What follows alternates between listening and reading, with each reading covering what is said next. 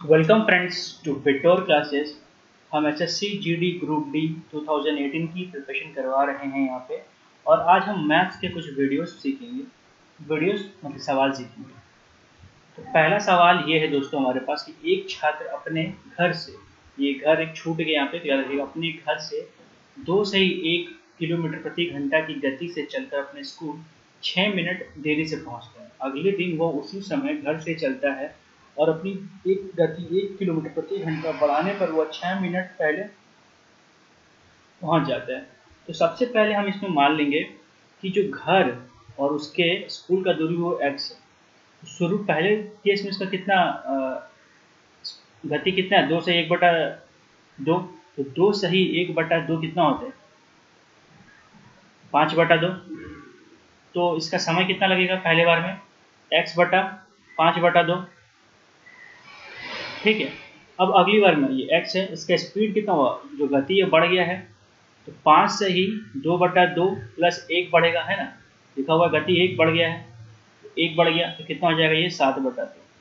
तो अब एक चीज़ आप ध्यान दीजिए। मान लीजिए उसको कुल समय ये एक लाइन हम सब बनाते हैं ऐसे। मान लीजिए उसको कुल समय लगता था कुछ हम्म, दो दो मिनट मान के चलते हैं। ठीक है? तो पहले बार वो क्या करता था? एक मिनट मतलब एक मिनट लेट हम सिर्फ़ मान रहे समझाने के लिए आपका सवाल अलग है। मान लीजिए दो मिनट उसको पूरा समय लगता है तो पहले क्या करता था? एक मिनट पहले पहुँच जाता था, अब बाद में क्या करता है? एक मिनट बाद में पहुँच जाता है। तो ये जो दो, ये जो समय का डिफरेंस है, पहले का और बाद का, ये तो वही हुई ना, अगर पहले का समय जो लगता था, जो बाद का समय लगता था, दोनों को घटा देंगे तो हमारा आंसर आ जाएगा। तो इन दोनों को हम घटा के बराबर कितना रखते थे पहले छः मिनट, पहले छः मिनट बाद, कुल समय कितना हो गया? छः मिनट छः मिनट, बारह मिनट मिनट को हमें घंटा में बदलना पड़ेगा तो बारह बटा साठ करेंगे हम लोग। तो कितना है? एक बटा पाँच। अब इसको सॉल्व करिए तो ये दो इधर, पाँच बटा दो भाग में पुनः लेंगे तो दो एक्स बटा पाँच हो जाएगा, और नीचे आपका हो जाएगा टू एक्स बाई सेवन एक बटा पाँच। यहाँ सॉल्व करिएगा तो आपका x बराबर आएगा सात बटा चार। ठीक है? और आंसर आएगा आएगा बटा में इसको ऐसे लाना है आ जाएगा एक सही तीन बटा चार। इस तरीके से इसको हम लोग सॉल्व कर सकते हैं। ठीक है दोस्तों? अगला सवाल। एक हज़ार आठ को किस अंक वाली संख्या से विभाजित किया जाए तो भागफल एक पूर्ण वर्ग संख्या जाएगा? सबसे पहले हमें इसमें से 108 का फैक्टराइजेशन करना पड़ेगा, ठीक है? तो 100 108 का फैक्टर निकालेंगे क्या क्या है? गुण मतलब गुणनखंड में तोड़ेंगे। तो दो गुने दो आएगा, गुने दो गुने दो आएगा, ठीक है? और गुने तीन गुने तीन, गुने सात। कर सकते हैं, कैसे इसको नहीं पता है, कैसे गुणनफल करते हैं। जैसे एलसीएम निकालते हैं, आप उसी तरीके से। है इसको एक हज़ार आठ लिखिए तो यहाँ दो से काटिए, कितना आएगा आपका? पाँच सौ चार, फिर दो से काटिएगा तो आपका आएगा दो पाँच, दो। इस तरीके से सॉल्व करते हैं तो लास्ट तक यही आपका बचेगा। जैसे दो दो है, अगला एक और दो आएगा, फिर दो तीन आएगा, फिर एक सात आ जाएगा। ठीक है? तो अब देखिए, इस वर्ग कैसे बनता है? कोई भी दो नंबर अगर गुना के उसको वर्ग बोलते हैं क्योंकि दो दो है, दो दो है, तीन तीन है, एक ही सात है। तो एक सात से अगर हम इसको भाग कर देंगे तो ये सात हट जाएगा, फिर ये पूर्ण वर्ग बन जाएगा। सात से अगर भाग कर देंगे तो हमारा आंसर हो जाएगा। आंसर क्या हमारा? सात। अगला है किसी वस्तु की लागत 20 परसेंट और 25 परसेंट की दो अनुक्रमिक कटौती के बाद रुपीस पी आती है। तो वस्तु का मूल्य। सबसे पहले हम क्या, देखिए, एक चीज़ याद रखिएगा। जैसे कि बोला 20 परसेंट कम हो रहा है किसी चीज़ का तो मान लीजिए एक्स ही है, उसका मूल दाम एक्स तो 20 परसेंट कम हुआ तो कितना करेंगे? 20 बटा सौ गुने एक्स इतना 20 परसेंट निकालेंगे पहले, फिर इस 20 को एक्स से घटाएँगे तो घटाई लगा लेंगे सौ आएगा, सौ एक्स प्लस बीस एक्स कितना अस्सी एक्स बटा सौ। तो इस तरीके से इसको करना है, ठीक है? तो इसी तरह मान लेते हैं मूल हमारा एक्स है तो पहले कितना घटा है बीस प्रतिशत। तो अस्सी एक्स बटा सौ हो गया अब कितना घटा है? सौ का पचहत्तर परसेंट तो कितना? पचहत्तर बटा सौ हो गया।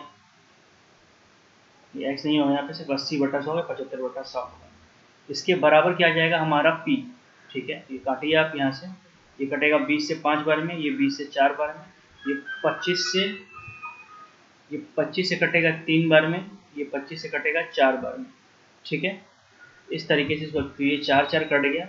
एक्स बराबर आपका आ जाएगा फाइव पी बाई थ्री ठीक है? इस तरह का सॉल्यूशन हो जाएगा। तो आंसर हमारा हो जाएगा five three is five three ठीक है दोस्तों? अब हम बढ़ेंगे अपने अगले सवाल की तरफ़। अगला सवाल है 16 आदमी दिन में 14 घंटे काम करके किसी कार्य को 12 दिन में पूरा कर सकते हैं। 28 आदमी 28 आदमी कितने 28 आदमी दिन में 12 घंटा काम करके उस कार्य को कितने दिन में पूरा करेंगे? तो इन सवाल को बनाने का तरीका अलग है, दोस्तों, थोड़ा इसको तरीका देखिए, पहले लिस्ट बना लीजिए। क्या क्या आपके पास आदमी है? घंटा है और दिन है। पहले हमारे आदमी कितने थे? सोलह। घंटा कितना था? चौदह। और दिन था? बारह। अब आदमी कितने हो गए? अट्ठाईस। तो घंटा कितना बन गया? बारह। हमें निकालना है। ठीक है? इसको हमें सॉल्व करना है। कैसे सॉल्व करेंगे? ये थोड़ा देखने के बाद। अगर आप सॉल्व कर पाए तो बहुत अच्छी बात है। सोल्यूशन में कमेंट करिए। और नहीं तो मेरा सोल्यूशन देखिए। तो इस तरीके का क्वेश्चन हमें सॉल्व करना है। तो कैसे सॉल्व करेंगे? अगर आपसे हो गया हो तो बहुत अच्छा नहीं तो देखिए तो अब क्या करिएगा, पहले आप लिस्ट देखिए। अगर मान लीजिए कोई काम करने में आदमी अगर बढ़ रहा है हमारा, ठीक है, आदमी इस तरह से बढ़ रहा है तो दिन क्या होगा? घटेगा। तो दिन क्या उसका उल्टा चलेगा? उसी तरह अगर आदमी बढ़ रहा है तो घंटा भी, घंटा ही घंटा भी, आदमी बढ़ रहा है तो घंटा घटेगा मतलब तो उल्टे तरीके में चलेगा ये। अगर आदमी बढ़ रहा है तो दिन भी घटेगा मतलब तो दिन भी उल्टा में। अब जो जो सीधा में उसको सीधा लिख लीजिए सोलह बटा अट्ठाईस हो गया, बराबर क्या करिए, जो एक तरफ़ है उसी तरफ़ लिखिए। इसका एरो हम लोग कैसे लिए देखिए, इसका एरो ऊपर से नीचे माने थे तो इसका उल्टा हो गया था। जो इसका एरो नीचे से ऊपर है तो हम लोग बारह बटा चौदह लिखेंगे। और मान लीजिए जो दिन लग रहा है, वो हमारा एक्स हो गया तो यहाँ हो जाएगा एक्स बटा बारह। ठीक है, ये बारह बारह कट गया, ये चौदह से अट्ठाईस दो बार में कट जाएगा, ये दो से सोलह आठ बार में तो एक्स बराबर कितना आ गया? आठ दिन। तो कितना दिन में काम खत्म कर पाएगा? आठ दिन। इस तरीके का क्वेश्चन ऐसे ही किया जाता है, बहुत सिंपल अब है एक फल विक्रेता को एक निश्चित मूल्य पर आम बेचने पर 25 परसेंट का लाभ होता है। यदि वह प्रत्येक आम पर एक रुपये अधिक वसूले तो उसे 50 परसेंट का लाभ होगा। प्रारंभ में आम की कीमत कितनी थी? सबसे पहले हम मान लेते हैं कि आम की कीमत, प्रारंभ कीमत एक्स थी। ठीक है? तो जब वो 25 परसेंट लाभ कर रहा है तो आम की कीमत कितनी हो जाएगी? ठीक है, सबसे पहले हम निकालेंगे कितना होगा तो कितना कीमत हो जाएगा? X प्लस पच्चीस परसेंट ऑफ़ x, ये इसका फ़ायदा होगा, नया दाम निकल गया इसका। ठीक है मतलब कितना उसको फ़ायदा हो रहा था तो अगर इसको जोड़िएगा तो ये आपका आ जाएगा 125 बटा सौ एक्स और इसको हम लिख सकते हैं 1.25 एक्स ठीक है, ये आ पाएगा। अब क्या बोला है कि अगर वो प्रत्येक आमों के दाम को एक रुपए बढ़ा देता है, ठीक है? ये जो एक्स हमारा, ये प्रत्येक आम का है। तो एक सौ वन पॉइंट पच्चीस एक्स पच्चीस एक्स का दाम था तो उसको बढ़ के कितना हो जाएगा? One point five x plus x इसका दाम एक रुपया बढ़ रहा है उसका फ़ायदा कितना हो रहा है? पहले एक्स था, अब फ़ायदा कितना हो रहा है? पचास परसेंट। पचास परसेंट और एक्स निकालेंगे हम यहाँ से। ठीक है? तो अगर इसको आप सॉल्व करिएगा तो ये आएगा एक्स ये आएगा पचास बटा, एक सौ पचास बटा सौ एक्स तो ये आ जाएगा आपको वन पॉइंट फाइव एक्स तो ये हमारा हो गया, ठीक है? अब ये इस वन, इसको वन बराबर हम लोग क्या लिख सकते हैं? One point five minus one point two five x दोनों एक्स है। तो ये कट के कितना आएगा? Zero point two five x तो इसको लिख सकते हैं पच्चीस बट्टा सौ एक्स तो एक्स बराबर क्या हो जाएगा? वन के बराबर है ना? तो सौ बट्टा पच्चीस। एक्स बराबर हो गया आपका सौ बटा पच्चीस मतलब चार। तो चार रुपए था आम का दाम, ठीक है? पढ़ते हैं अगले सवाल अगला सवाल है, लोहे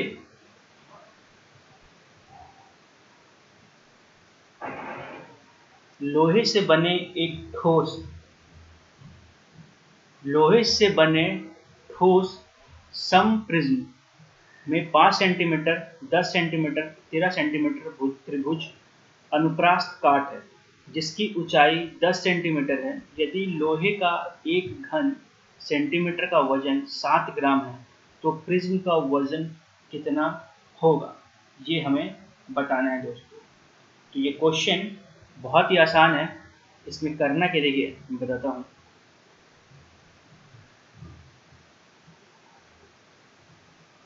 हमें क्या करना पड़ेगा? इन तीनों से देखिए क्या दिया हुआ है। लोहे के बने ठोस प्रिज्म में पाँच सेंटीमीटर, दस सेंटीमीटर दस सेंटीमीटर भुजाए का त्रिभुज अनुप्रास्त काट है, ठीक है? तो जिसकी ऊंचाई 10 सेंटीमीटर है तो हमें सबसे पहले निकालना होगा एक प्रिज्म का वॉल्यूम क्या होता है, ठीक है?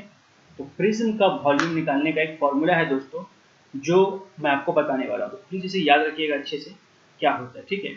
और मैं चाहता हूँ कि इस वीडियो को आप पॉज करके आप पहले खुद से सॉल्व करने की कोशिश करिए। अगर आप खुद से सॉल्व कर लेते हैं तो ये बहुत ही अच्छी बात होगी। तो मैं चाहता हूँ कि आप खुद से सॉल्व करें। अगर सॉल्व कर लेते हैं तो बहुत ही बहुत ही अच्छा बात है।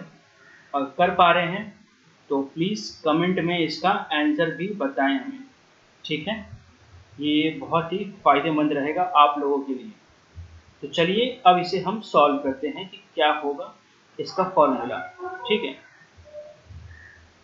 तो जो भी ऐसे त्रिभुजाकार प्रिज्म होता है, उसका जो फॉर्मूला होता है वॉल्यूम का, वो होता है बेस इनटू हाइट ठीक है?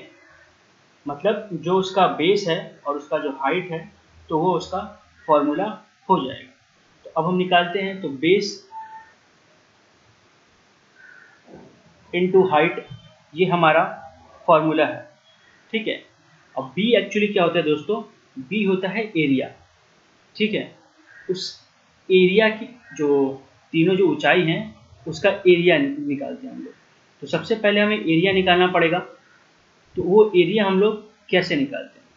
ये हमें जानना बहुत ज़्यादा ज़रूरी है। ठीक है? तो अब देखिए, ये तीन भुजाएँ हैं।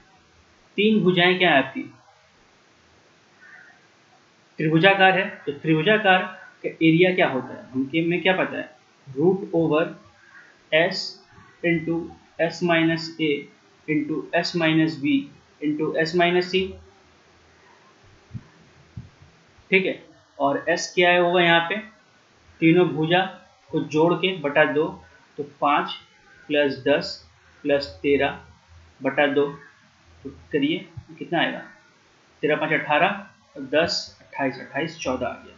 इसको रूट में हम निकालेंगे पहले। चौदह। चौदह माइनस ए तो ए कितना हो गया? पाँच हम लोग का तो नौ हो गया। ठीक है?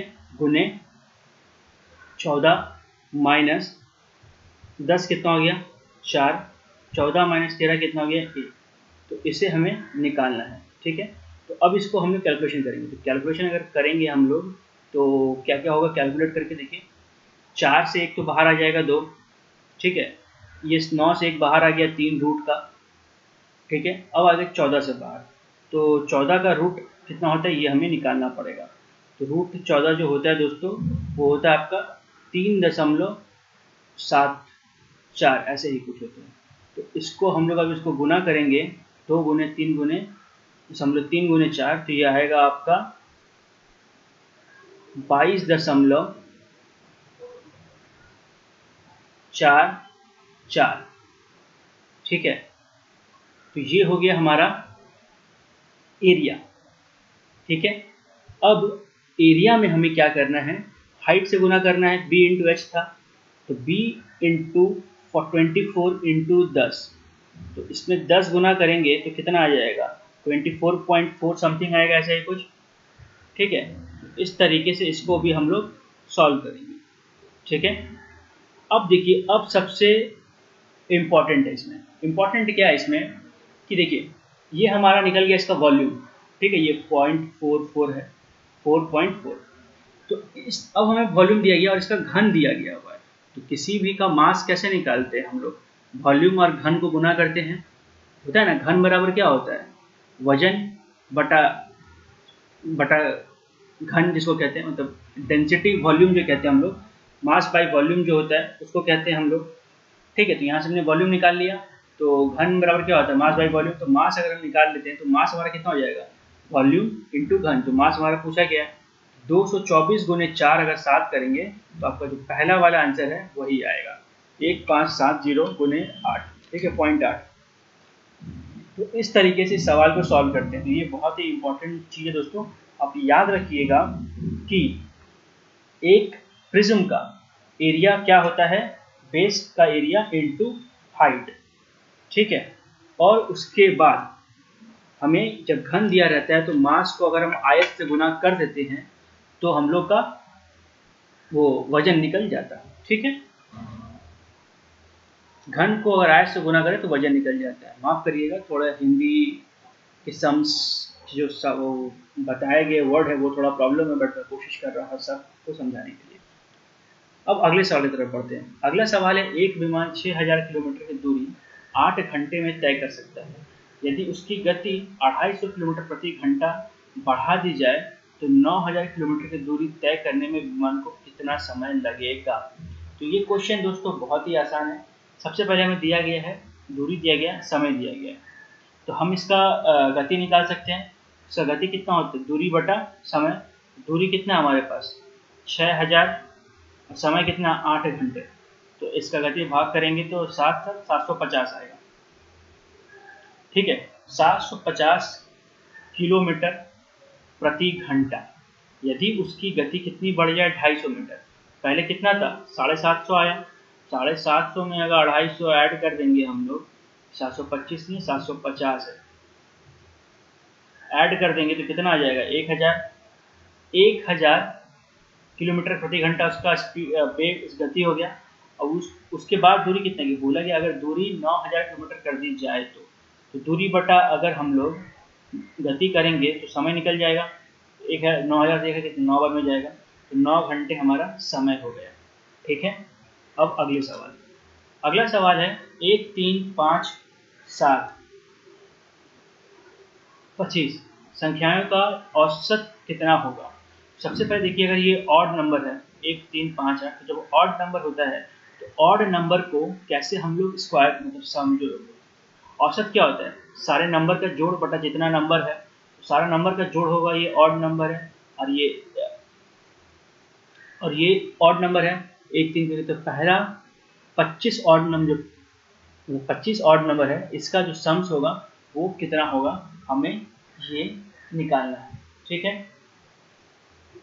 तो उसका जो सम होता है दोस्तों वो होता है एन स्क्वायर ठीक है? तो एन स्क्वायर जो होगा, वो क्या हो जाएगा? पच्चीस का स्क्वायर ठीक है?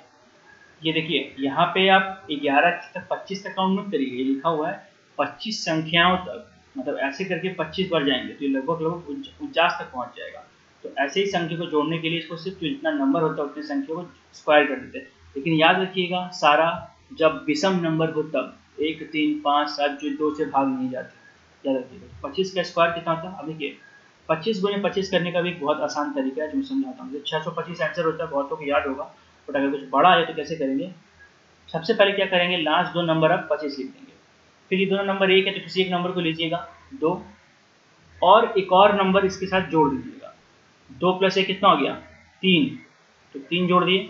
तो दो गुना तीन कितना हो गया छः छः सौ पच्चीस। ठीक है, कभी भी पच्चीस से पच्चीस गुना करने ऐसे अब औसत क्या होता है? पूरे संख्या भागा बटा जितना नंबर है छः सौ पच्चीस बटा पच्चीस करेंगे तो कितना आ गया? पच्चीस फिर से। तो हमारा आंसर कितना हो गया? पच्चीस। ठीक है? इस तरीके से ये सवाल भी सॉल्व हो गया।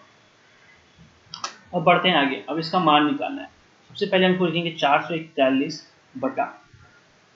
ठीक है? यहाँ पे पॉइंट का कितना है? ज़ीरो है। तीन ज़ीरो और तीन नंबर टोटल छः ज़ीरो आ जाएगा नीचे। तो इसको हम लोग रूट करेंगे। चार सौ इकतालीस जो होता है, वो इक्कीस का रूट होता है। ठीक है? और यहाँ पे छः ज़ीरो तो तीन ज़ीरो बाहर आ जाएँगे। तो इसको हम लोग लिख सकते हैं कितना? Zero point zero two one point देखिए, ये वन बिठा दिए पॉइंट की जगह पे, और जितना ज़ीरो तो पॉइंट उतना नंबर हो जाएगा। दो नंबर है ये तो एक ज़ीरो में आगे इसके बाद में बिठाइएगा। बाद में इसका वैल्यू खत्म हो जाएगा। अगला सवाल ये है ये थोड़ा सवाल ऐसा है कि आपको समझने का ज़रूरत है। ठीक है? तो ये सवाल में क्या बताया गया है, मैं बताता हूँ आपको।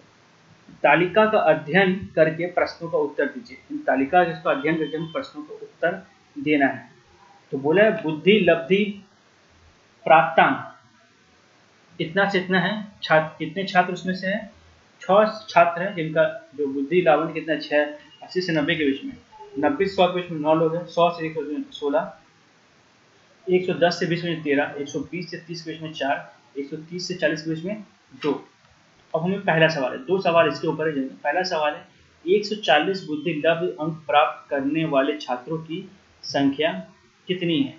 तो बोला है कि जो 140 नंबर प्राप्त किया है, उसकी संख्या कितनी है? तो अब ध्यान से देखिएगा, संख्या कितनी है? दो। पर इसका सही ये सही क्यों नहीं हो सकता दोस्तों क्योंकि ये सिर्फ़